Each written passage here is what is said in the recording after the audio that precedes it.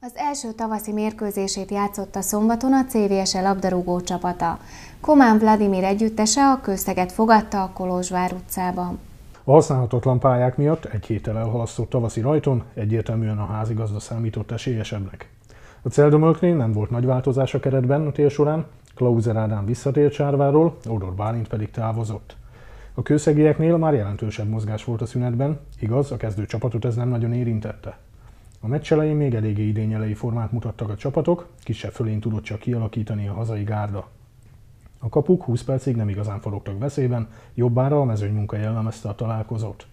Az első fél óra elteltével még nem született gól, ám három perccel később már megrezdült Táncsics mögött a háló, Győrvári révén ugyanis vezetés szerzett a celdömölk. A folytatásban is ennyi hazai fölnény mutatkozott, de a szünetig az eredmény már nem változott. A második félidőben már meggyőzőbb játékot láthattunk a celiektől, szerették volna minél előbb bebiztosítani győzelmüket a fehérmezesek. A 60. percben Klauser megduplázta az előnyt, megnyugtatva kissé a hazai publikumot. A kőszegieknek szinte alig volt lehetőségük felucsúrni a nagy ijegységből, Német József a 63. percben szintén mattolta Táncsics kapust, beállítva ezzel a 3 0 végeredményt. A mérkőzés hátralévő részében gólig már nem jutottak a felek, ám a 77. percben Szuferenc egy piros lapot begyűjtött, míg a vége előtt nem sokkal egy 11-est is kihagyott a házigazda.